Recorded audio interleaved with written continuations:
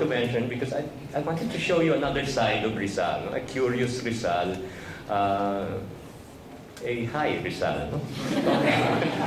now, lest we be fixated with Rizal and hashish, I want to emphasize that Rizal the liberal was also being nurtured at this time in Manila.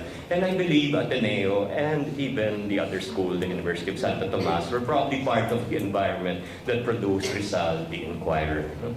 Rizal most certainly had access to Western books even before he reached Europe. There were bookstores in Manila. Uh, the Dominicans, uh, for, despite all the talk about their conservatism, had a wonderful library which included many books uh, that one would have thought were banned. You, know? you could find Rousseau in there, in, in, in their collection, in the friars' collections. Uh, Rizal also had an uncle who was very cosmopolitan with many foreign visitors, so this may have added to Rizal's curiosity about the world and the ideas of the Enlightenment. Okay, so we're going to go, uh, since we already saw those slides, no, there's an so Rizal went on to Madrid, no? and at the Central University of Madrid, Rizal went for more advanced medical studies, but uh, people don't know, he, he did not finish his doctorate in medicine. Okay? He, he is a doctor though. The, the, system was different at the time. What he got in UST was not a, a, an MD. No? It was sort of an undergraduate degree, which is why he went on to Madrid. But he did not complete his doctorate in medicine. He got his doctorate in philosophy and letters because he was more interested in philosophy and letters and in the arts. He also took art classes and fencing. Um, and, and we see here that maybe his priorities were changing, which I don't think made him less the doctor. It probably added to, to him as a, as a healer. Now, I wanted to mention a speech he delivered in 1884 because we're going to look now at Rizal struggling with science. In a speech delivered in 1884 to honor Juan Luna and Felix Hidalgo, who had won awards in an exposition, Rizal had very fiery words. You see the nationalism emerging here. He's, he was very proud of their bit, of their prize, and he said, "The Oriental chrysalis is breaking out of its sheath, and that race, notice the racial language here, plunged in lethargy during the night of the history, while the sun illuminated the other continents. Continents awakes anew, confirming the eternal laws of constant evolution, periodic change, and progress." His idea was that we were in the dark ages, and that one would come out of it. No? And that it, the proof here, of course, was the two, the two, and I'm very reluctant to use the word Filipino because in Rizal's time, Filipino actually referred to the Creoles. These were the Spaniards born in the Philippines. Rizal, uh, as a Chinese mestizo, and the Indios were not considered Filipino. So you can see here Rizal, the Ilustrado. Ilustrado actually means the illuminated, no? people who are enlightened. No? Uh, painting of evolution, change, and progress with metaphors of light and darkness. The speech found its way to the Philippines and were published in the newspapers here. And a few months later, his elder brother writes Rizal telling him his mother has been quite ill, mainly because she was so upset with his speech and worried that it would get him into trouble. And Rizal's mother eventually writes him, saying how sad she was and, and reminding him, do not fail in your duties as a real Christian, for it is sweeter to me that you're acquiring, uh, than you're acquiring greater knowledge, because sometimes knowledge is what leads us to ruin. So I'm, I'm trying to give you a glimpse now of the struggles that he had, a struggle with his own mother, who felt that faith, keeping the faith, was more important than acquiring knowledge, that knowledge was actually uh, dangerous. What did Rizal, what was Rizal's response? Response, when he said, I have not for one moment stopped believing in the fundamental principles of our religion. What I believe now, I believe by reasoning. Uh, because my conscience can accept only what is compatible with reason. So we see here Rizal, the scientist, emerging. But he goes on to say, for me, religion is the holiest of things. If someday I were to get a little of that divine spark called science, so science is divine. I would not hesitate to use it for God. And if I should err or go astray in my reasoning, God will not punish me. You see here now his, his struggles, no? his, his, his dealing, no? grappling with his faith. No? Okay, so this is Rizal, the son, 23 years old, confronted by his mother's grief over his liberalism and what she feels was a drifting away from Christianity. But that did not stop him. And we see Rizal, the scientist in Europe, continuing his work. It's very it's surprising Rizal's biographer, the one who names him as a conchographer and everything else, did not list anthropology and ethnology as his professions. But these sciences, together with philology, which is a study of languages, folklore and history were to be his passions while he was in Europe. And he had prolific output here, writing about everything from Tagalog folklore, Tagalog grammar, to the annotations to Morga's Sucesos. Uh, what happened here, this is a very early work by Spaniard. He went to the library, copied it by hand, and annotated the entire book, saying that, that Morga was wrong here, Morga got it, uh, Morga misinterpret, misinterpreted certain things. Uh, his whole point here was to, to bring out the Filipino. Um, we, we forget that even his two novels were what we would call creative nonfiction today because they were really thinly disguised, disguised descriptions of real people, places, and events. No? And teaching anthropology, I often tell my students to read the two novels to get a glimpse of Manila's culture in the 19th century. So Rizal used the social sciences and the humanities in his search for the Filipino. His interest in anthropology reflected his European counterpart's obsession with race, except that Rizal was intent on proving there were no differences among the races when it came to intellect. He engaged the Europeans in, his, in their own turf, uh, using archaeology, anthropology, history, which are all sciences dominated by the Europeans. Uh, Rizal was the quintessential uh, Indio Bravo, the brave Indio, speaking up and raising questions. As a footnote here, Rizal coined the term Indio Bravo after seeing Buffalo Bill's Indians at the Madrid exposition. Buffalo Bill was there with some American Indians, and he was fascinated by the term. So Rizal in, Europe, in Europe was spurred by the ideas of the Enlightenment. His, his idea was that education was the key to human development. And in the search for freedom, you needed that education, but he was also influenced by. I'm, I'm sorry, I missed out on Blumentritt. No? I'm sorry, we. It's. I'm not used to this particular remote kasi. So I'll continue reading. No? You, Blumentritt was uh, a Filipinist. No? He was an expert on the Philippines, but Rizal had an extensive correspondence with him. In one of his letters, he also points out is it the middle thing that I should be pressing? Okay, here's an example. Here's the native, no? audacious enough to be advising your Western expert on the Philippines. For instance, Blumentritt said, should I be going to the Madrid exposition? He heard that there was an exhibit there that was interesting. It was an exhibit of Igorots. No? And Rizal said, don't mind the Philippine exposition. Madrid, naawa siya sa mga Igorots. No? He said, we're going to catch pneumonia. Actually, privately, he was very ashamed that Igorots were being displayed because he felt that that would give the wrong impression to, to Europeans about what the Filipino was. So he, he also had his biases, no? and it's important to, uh, to recognize that this is part of his search yet for what a Filipino was. No? Okay, I was talking about Johann Herder. Herder was a German philosopher and theologian who also influenced Rizal. No? Uh, Rizal uh, was very happy. He got 38 volumes. He got the complete works of Herder 38 volumes. No? He was into this. He was buying books. He had the complete books of Schiller. He had the complete books of, uh, there was someone who wrote on religion. So apparently he read all of them. Uh, and Herder, Herder was someone who said that it's language that shapes our thought and that it is important to use history as an instrument for the most genuine of patriotic spirit.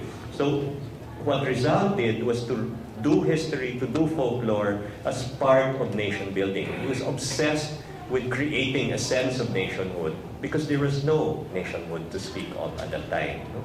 Uh, and you see the influence of Herder in his novels. There's Simoun exhorting Basilio, who, who I always say was the first Ateneo Medical School student because in the novel, Basilio comes out to be a medical student in Ateneo. But Ateneo did not have a medical school at that time. So Rizal actually foresaw that we would. Uh, so magician or prophet. No? Uh, and here is Simoun telling Basilio, no? cultivate your own language, extend it, preserve to the people their own way of thinking, aspire to be a nation, and sooner or later you will have your liberty. No? Basilio was the son of Sisa, the, one, the woman who went insane, no? and eventually went on to the Ateneo School of Medicine. so uh, Rizal was really obsessed with this whole thing of language, culture, and nationhood. No? Um, many people are unaware. Well, actually, this is my fourth Rizal lecture because I also delivered a lecture the other week in Dipolog to the Reading Association in the Philippines uh, analyzing. He had an article urging a revision of Tagalog orthography because we were using the Spanish spelling system, which did not have the letter K. And he said we have to have a letter K because it comes closer to the spirit of Tagalog. See it's his ideas. No? He, he, he went into everything, including spelling systems, no? but always it was because he wanted to find the Filipino, whether it was in language or spelling or uh, whatever you have there. So we see Rizal's whole social uh, life and networks was moving in this direction. So that by 1887, he wrote to Blumentritt that we have a group here of friends who publish our newspaper in Madrid. These friends are all youngsters, Creoles, Mestizos, and Malays, but we call ourselves simply Filipinos. No? Many people don't realize the importance of this passage. No?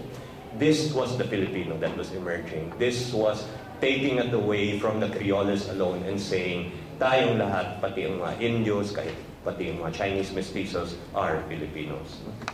So what happens to medicine? It seems medicine retreated into the background for Rizal. We do have his clinical notebooks, which he kept as a student in Madrid. No? And from the notes, it looks like he was still he was still following the Galenic tradition, the idea that we have humors, no? that uh, like people who have a lot of blood are sanguine, no? people who are a lot of yellow bile are choleric, ito yung uh, mapapait personality nila. No? And so he would actually describe his patients as sanguine, choleric, lymphatic. No? And uh, this is really classical Greek medicine, which had been preserved by the Islamic Golden Age of Science and was transferred to Spain and then to your uh, students like Rizal. And at one point, Rizal wrote, he said, I'm reading English, no? Wind, heat, cold, the earth's vapor, uh, vapor would be sing out ng lupa, and indigestion are the leading pathogenic causes in the country. So this was Rizal the doctor. He was still, uh, he still believed in the climatic influences, which we still have today, di ba? Nahanginan, init, lamig, no? uh, and which we're teaching also in the Ateneo Medical School to remind students out there people still believe in these as causes of illness. No? But I'm pointing this out because in the 19th century, Western medicine had actually evolved. No? What had won was the germ theory of medicine, and the miasmic theory had taken was was not anymore the dominant uh, uh, dominant line of thinking. So I'm intrigued that he continued to talk about vapors. We know he corresponded as well with Rudolf Virchow, who was the father of cellular pathology, but and who was also a social reformer. So he probably knew of what was going on in medicine. Virchow wrote that medicine is the most political of sciences. No? And many people are unaware that Virchow was also an anthropologist and ethnologist. No? Uh, he wrote an article called The Peopling of the Philippines no? and many, many other articles. And he, was, he founded the Berlin Society of Anthropology, Ethnology, and Prehistory, and Rizal was a member of this particular society. No? So, so Rizal the doctor does not disappear. In fact, we see Rizal a social, an anthropologist and ethnologist, but coming close to the mold of Virchow. But we do not know how much of interactions the two had. No? Uh, we don't have any uh, letters between the two. But, but after Rizal was executed, Virchow actually delivered a eulogy uh, to honor him. No? Okay, I'm going to skip Virchow now. Uh, my whole point here is that Rizal, Rizal was engaging the Europeans. No? He, he, he wanted to contribute not as the subject of their study, but as someone, a Filipino, writing about Filipino culture. We, we move on now to the, Dapitan. What happens now to Rizal? After studying in Madrid, Rizal went on to Paris, went on to Germany, did more medical, uh, had more medical training, but this is really Rizal, the social scientist. Then, when he returned to the Philippines, he was exiled to Dapitan from 1892 to 1896. And this is where he, we, we see a really intensive practice of medicine. Uh, I was just in Dapitan the other week, and I had a video which I did not bring. I knew I forgot something today, but it's something else to look to see Dapitan. I, I feel every pre-med and medical student should go there. A pilgrimage. No? So he practiced medicine, and many people are unaware, he also practiced dentistry, even if he was, did not train as a dentist. No? He also became an engineer. He built a waterworks system, which still exists today. No? He collected specimens of flora and fauna and ethnological artifacts. But this was not so much Rizal the scientist, but Rizal collecting these to barter with Europe for more books. No? He would offer people these uh, collections and can you send me some books? No? Uh, was also the site for Rizal's Colegio Moderno, which was not a college but a more of a primary and secondary school, where he personally tutored 16 young Filipinos in the arts, humanities, languages, and natural sciences. So if you go to Dapitan, you'll still see the huts. You know, the, well, they're, they're replicas, but they're they, uh, it gives you a glimpse of what he was doing. And when he was in Dapitan, he wrote in 1895 The Treatment of the Bewitched, no? accompanied by illustrations. I have two illustrations here. So this one says, uh, Jesus, ako'y naglalata. Kung ano po ang naroon sa loob, aswang ata. This is a woman who thinks she has an aswang inside her. And then the next one is ay inang mamamatay ako, O mother and die. Huwag po kayo matakot, the mother say, at ako man ay bata ay isang bantog na hilot that the mother is going to heal the child. Rizal was actually poking fun at this. He was skeptical, and yet his, his article, The Treatment of the Bewitched, uh, does show some, some, some insight. He says, between the rat quack who administers the lashing, kasi nilalatigo ang uh, people who believed to be bewitched would be whipped. But he says between the guy who whips, does the whipping, and the titled professional who denounces the lashes as savagery must be the philosopher-physician who ought to reflect I want to claim him as the first Filipino medical anthropologist. No? However absurd the practice may seem to reason, if it is accepted by the multitude without compulsion, he has to recognize some foundation for it. So he's telling fellow doctors, you must try to understand what is going on. He goes on to say witchcraft victims might be victims of suggestion, if not autosuggestion. And he believed that you have to take the symbols that people have and treat them using those symbols. No? Apparently, he had another article on something called Mali Mali. No? This is a another folk illness. No? I don't know if you've ever seen it. Pag nagulat ang isang tao, he starts to repeat everything you say. This, this, uh, he wrote about that. But that article has gone missing. No one has ever seen the manuscript. No? Uh, it's very intriguing uh, what he might have wrote there. Okay, I did want to move on. We're actually I want to move on now to, to Rizal's grappling with this fate. In Dapitan, he continued to, to, to deal with this. And you have the famous correspondence with Father Pablo Pasteles, who was a Jesuit and who apparently was his teacher in the Ateneo Municipal. It was a friendship that went way, way back there. It was a very intense correspondence no? because Pasteles first writes uh, saying he's upset with Rizal's noli, fili, and the annotations to Morga, and tells Rizal to guard against exaggerated self-judgment and extreme self-esteem. Pasteles also says that Rizal has been take, has, uh, the, the, Protestants have come to possess Rizal as well as the Freemasons. Uh, these are very long letters. I'm just going to give you excerpts.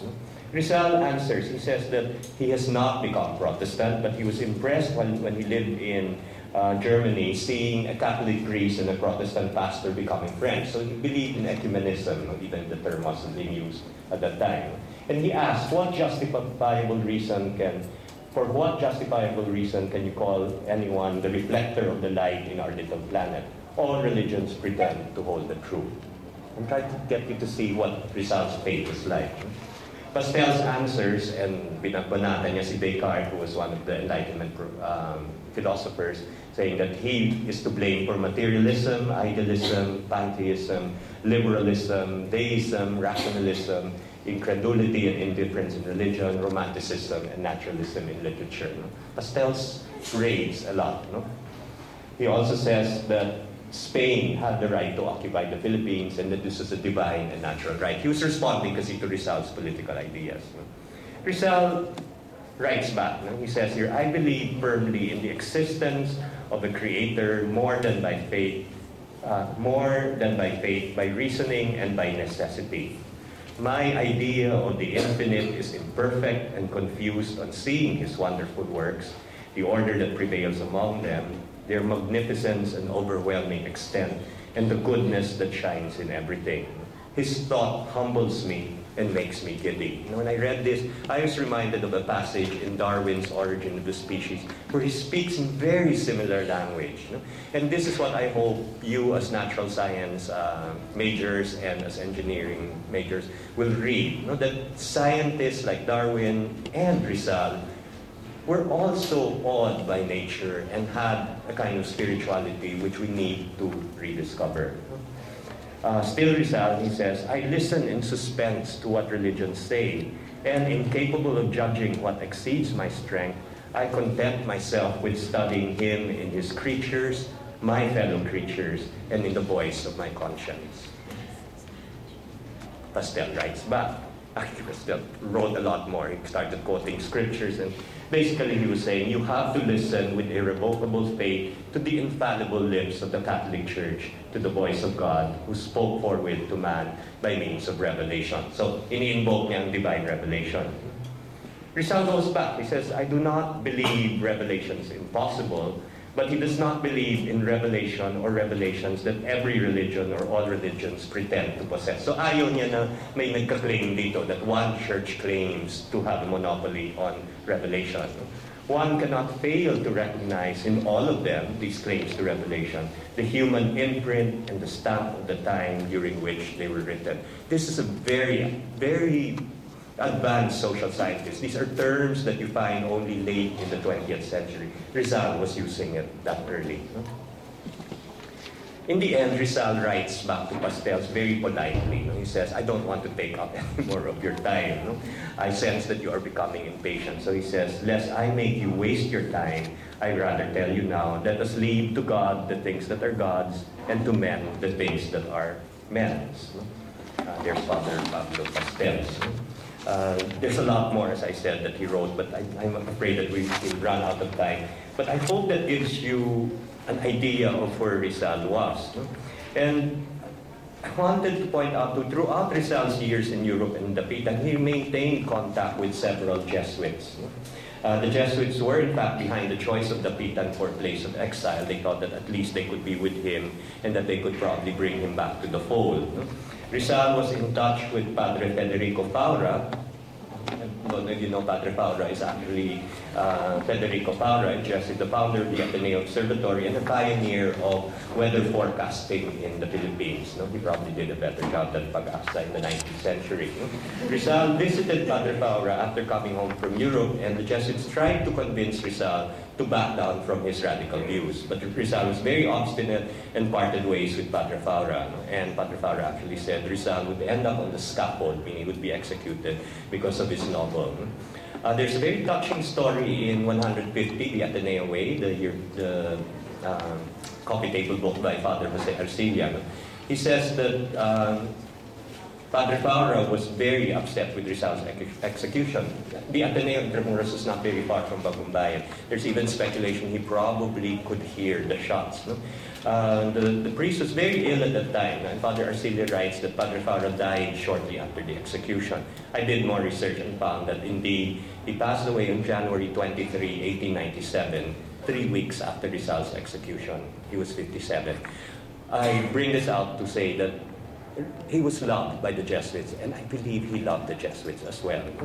While in exile at Dapitan, Rizal attended Mass regularly, even helped to design the altar in the church there. So you go there, I mean, this is not Rizal the heretic excommunicated. They invited him to help design the altar. He was visited by his former instructor in rhetoric, Father Francisco Sanchez, who brought a gift of surveyor's instruments no? so he could do his engineering.